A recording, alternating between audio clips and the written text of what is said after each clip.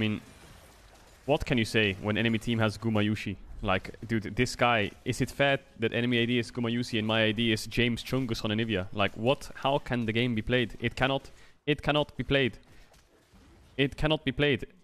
T1 Gumayusi on Draven versus James Chungus on Anivia. It's not fair. It's not fair. Just open it, man. Yo. Groupon, thanks for the prime. TG, Cajal? What does that mean? Oh my god, there's no way it's all just. Uh, yeah, yeah. What the fuck? Mowing the lawn, dude. Dude, uh, Gumayusi just fucking mowed the lawn. Huh? He hits... What does he do? Hits Morgana once, hits him twice. Double knockout from Cho'Gath. E ult.